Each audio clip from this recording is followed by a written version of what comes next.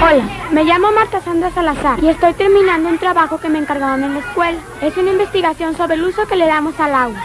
Descubrí, entre otras cosas, que la compañía de agua y drenaje no fabrica el agua, nada más la entuba, que el agua en las presas se evapora con el calor. Y desgraciadamente me di cuenta que desperdiciamos el agua cada vez que abrimos una llave. Ah, descubrí también que vamos a tener mucha agua. Si es que llueve. Aguas con el agua.